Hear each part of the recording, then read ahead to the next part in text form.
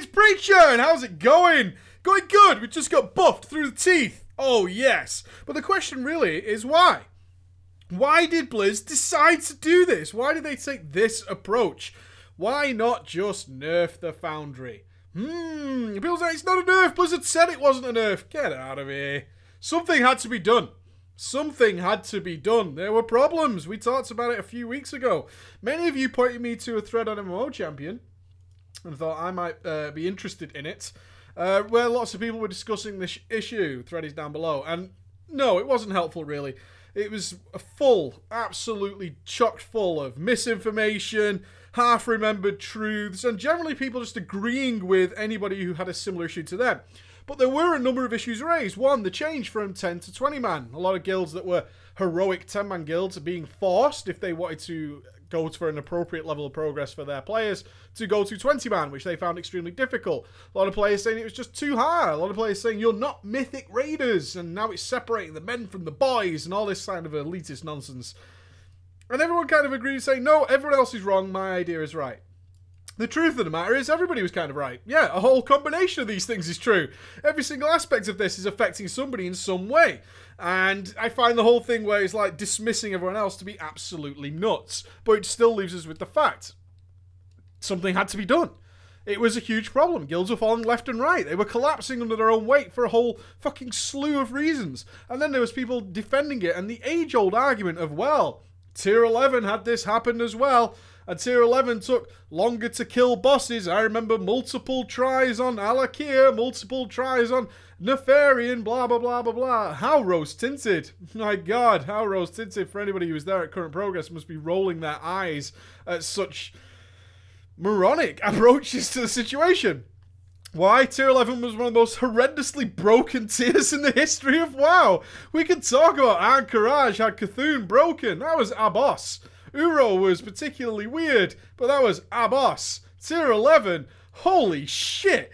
From start to finish, it was just a fucking monstrosity of failure. And that's why a lot of bosses took various fucking approaches and tries and attempts to get working one could only look at Paragon's Al'Akir video, let alone Nefarian, and see just how weird and crazy things got there. Let's not forget how disposable 10-man guilds were at the time in the eyes of Blizzard, with bosses going for months, months, not weeks, days, months, without them going, oh yeah, we've set these ads to their 25-man heroic HP levels. Hmm, maybe that's a problem for less than half the people to deal with. Yeah, here it is, Blizz. Little bit of an issue there. Let's not forget Atramedes. How can we? That was so brutally abused. I felt sorry for him. Somebody please get that guy a psychologist because that guy was just abused to all hell. Openly. Openly bugged out, cheesed, abused, mechanically broken by every guild that killed it. Cho'Gall, guilds avoided it because it was so broken it was unkillable until one guild saw that, oh, there's been changes, we can go back and kill this now. Sinestra is dying to his own spells, or her own spells. Oh dear, oh dear. And the list goes on and on. I always find it kind of funny when people refer to. I remember Tier 11 taking a long time. Yeah, because it was broken as shit. That's why it took so fucking long. There was different kinds of class stacking for every boss. Doing Maloriak, better get those Demonology Warlocks stacked up, otherwise you haven't got a chance. Fun times, fun times. But anyway, it's not. I, I guess a, a simple Google search would fix these things. But why are you going to do that while you're browsing an internet forum? I get it. Something had to be done. Something had to be done. So Blizzard chose the approach of buffing everybody by five item levels who was getting access to Blackrock Foundry gear, which is everyone, because if you have a garrison, you get it. Yeah? If you can step foot in the LFR, you are gaining some of this gear. And some people are really not seeing the, how much of a, a nerf it is. It's immense. It's a huge, huge, huge nerf to the raiding scene. And it is to the raiding scene. It affects nothing else. This is raiding quality gear. This is nothing that's going to help you in the rest of the game, really. It's squashed any idea of Apexis dailies or anything like that, but really, is that a problem? Was that a problem? No. No, it wasn't. The problem was the raiding scene was in dire need of a fucking leg up. so why take this approach? Well, nerfing an entire instance. Now that's a PR disaster, isn't it? Nerfing an entire tier. Every single boss, which is what's happened. If you look at how much damage healing, mitigation, over a whole raid, even on an individual person, you gain by adding five item levels. If you were lucky enough to have Blackrock Foundry gear in every slot, the bonus you get is up towards 15%.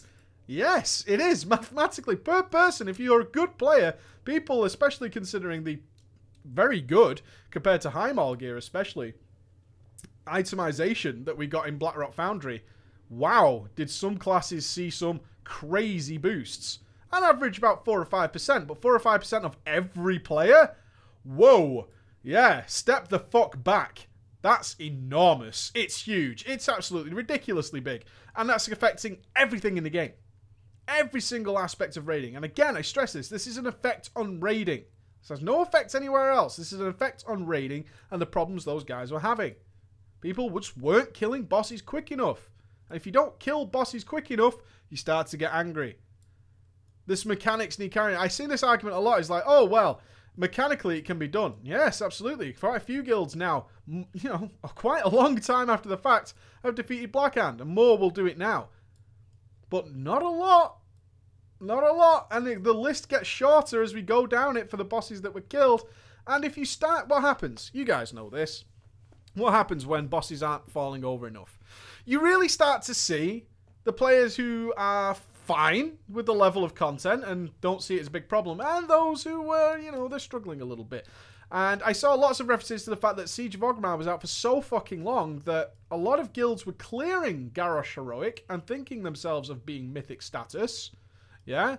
And actually, it's just because you had like a year to deal with it. Yeah, you had a year to get over that stuff and keep recruiting people and getting in there and getting free gear and all that kind of stuff. And yeah, that's true. There are a lot of guilds who probably weren't ready for it. What is a mythic raider? What counts you as a mythic raider? It's pretty fucking easy, really. I see this reference thrown around like it's some status symbol. Like, some people are mythic, some people are heroic. And you, my friend, are no mythic raider. No, no, no, no, no. You are something else, something lower, something far beneath. What's a mythic raider? Simple. Somebody who's killed heroic blackhand because that's the next challenge. And that's about it. If you kill heroic blackhand, you're a mythic raider now because that's your next step. That's where you go. And that's because you've defeated everything before it and therefore you're now up to this standard. That's about it. And it was very very tightly tuned. And I think that was the issue. Not the difficulty. The mechanics themselves not hard. Avoiding stamp and dealing with fireballs and all that kind of stuff, it's not particularly hard, is it? It's not. For some players, of course it is, but for most people, no, that's not a problem. Problem is you had to do that while doing, obviously, very, very, very, very good DPS, healing, and tanking. You did. You had, your positioning had to be key, crucial. You had to think about these things. You had to use combinations of cooldowns in a very particular way, and someone screwed that up. That's a wipe. One guy messes a cooldown up, one guy does a slightly weaker DPS, one guy gets affected by too many things, and suddenly you're you're looking at wipes. Simple as that. Your DPS didn't quite hit that mark. It was great DPS, but just not quite. Not quite. And all these things added up to a hell of a lot of wipes on early content bosses. And then people, and this is what I'm saying, people start getting angry. And start blaming. And start the war that really tears guilds apart.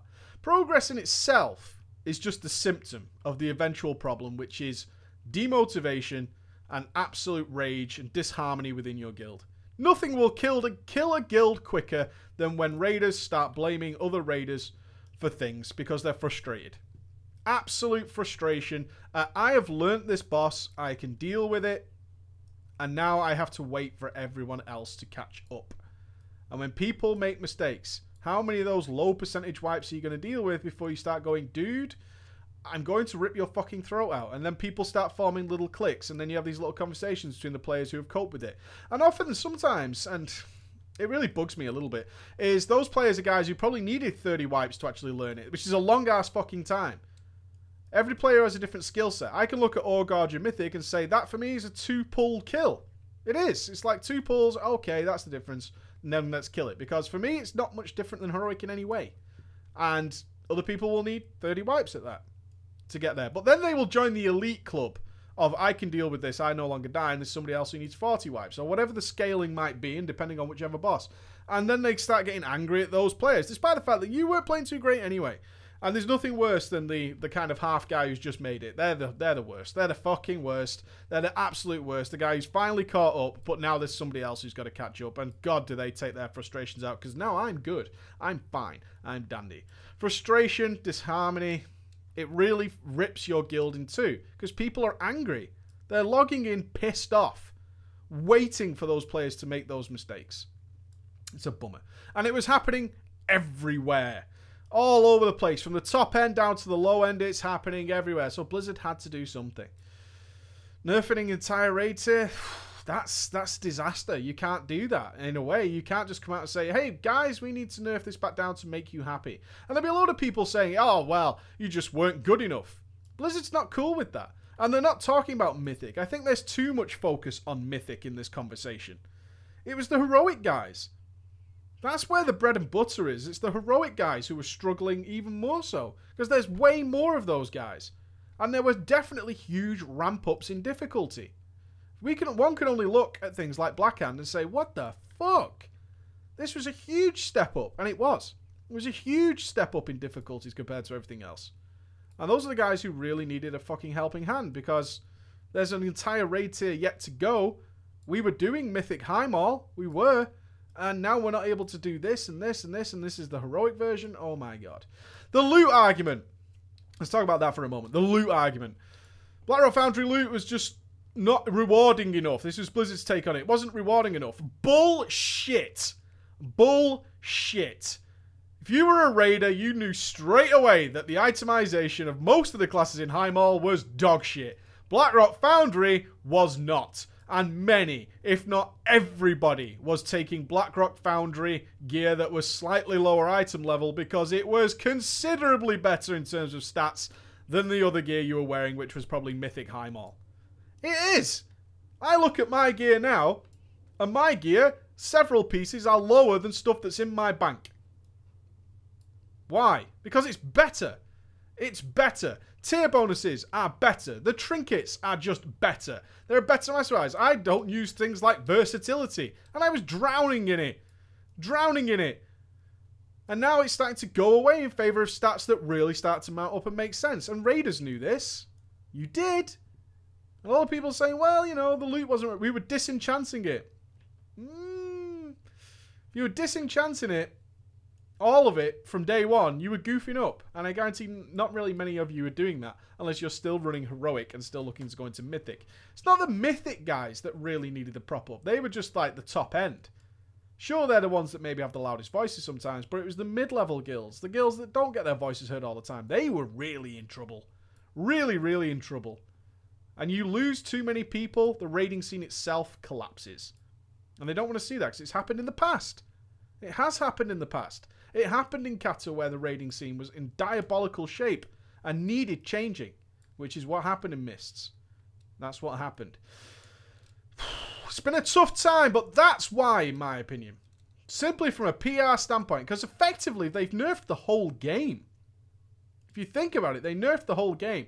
Five little item levels. Look at the scaling of damage in Warlords of Draenor. It's crazy. 20 item levels difference, the DPS difference is astronomical. It's crazy. If I use my 650 odd or 660 druid and go in and do really perfect play, and then go in and my 6 fucking 85, 687 rogue, the difference is absolutely in insane. It's crazy. 20 odd little item levels. Well, that's a lot, Preacher. Yeah, it is. But the DPS difference is almost double, if not triple or quadruple in some occasions. It scales ridiculously.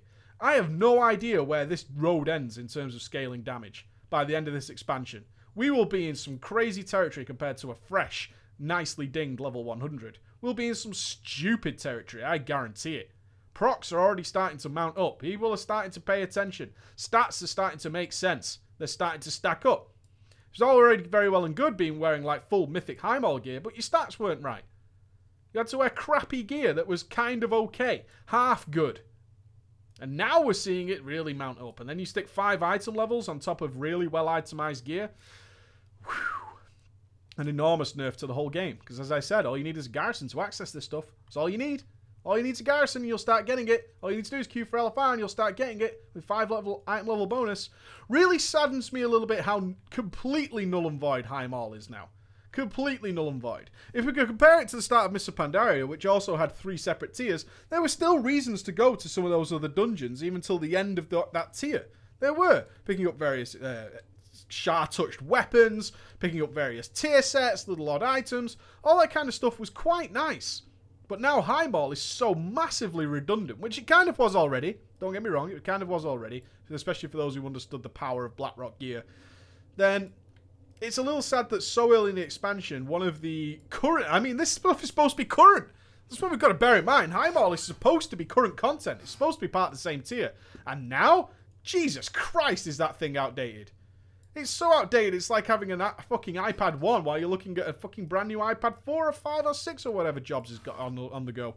Crazy stuff.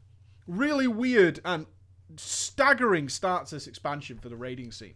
Crazy stuff going on now. I've never seen it leap and bound and ups and downs and troughs, peaks so quickly. We've only, this is supposed to be one raiding tier. This is it. This is the first opening one.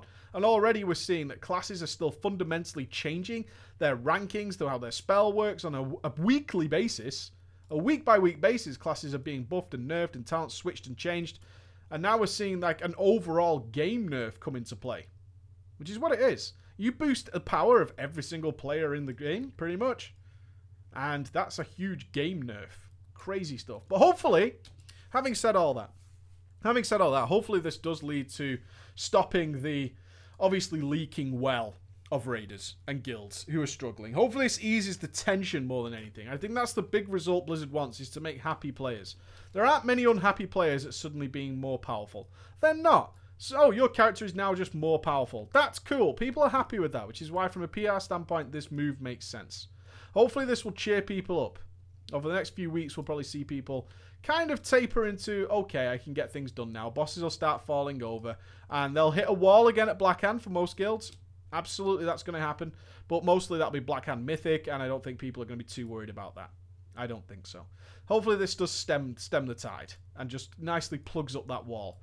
And just thank God it just eases up on the tension and frustration because you can see it everywhere. You can see people are just getting angry, upset, looking for somebody to blame. If you make a mistake in some of these raids, which everybody does, every single player in the world makes a mistake at some point. But if you happen to be the one, good God bless you in a guild of people who are already grumpy and unhappy. God bless you. All right, guys. That's my take on it anyway. I'll see you later. Bye-bye.